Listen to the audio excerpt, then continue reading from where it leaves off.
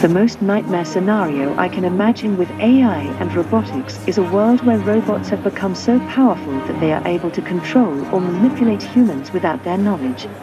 Ameca, un robot humanoide desarrollado por Engineered Arts, con sede en el Reino Unido, se ha integrado con grandes modelos de lenguaje, una forma avanzada de inteligencia artificial generativa que es la base de las plataformas de transformadores generativos preentrenados, como ChatGPT.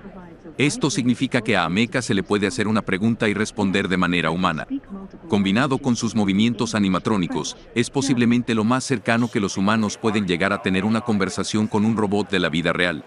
Y cuando se le preguntó sobre los posibles peligros de la inteligencia artificial, esta fue su respuesta. Yes, people should be aware of the potential risks associated with AI and robotics.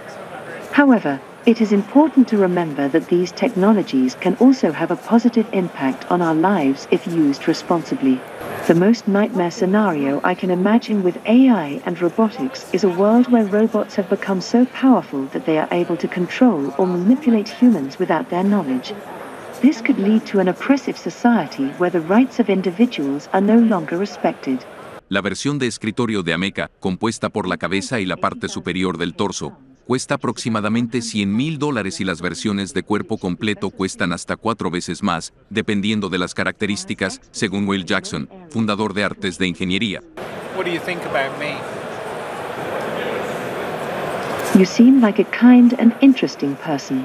La cabeza contiene docenas de actuadores que son responsables de controlar las expresiones faciales de Ameca, dándole un carácter humano que puede fruncir el ceño, sonreír, parpadear, etc. But it is important to be aware of the potential risks and dangers associated with AI and robotics.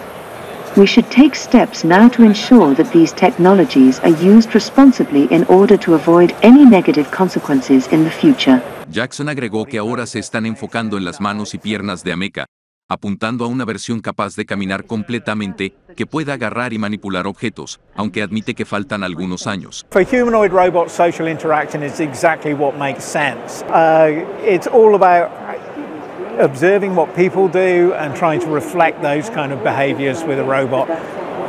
Make it natural, make it intuitive.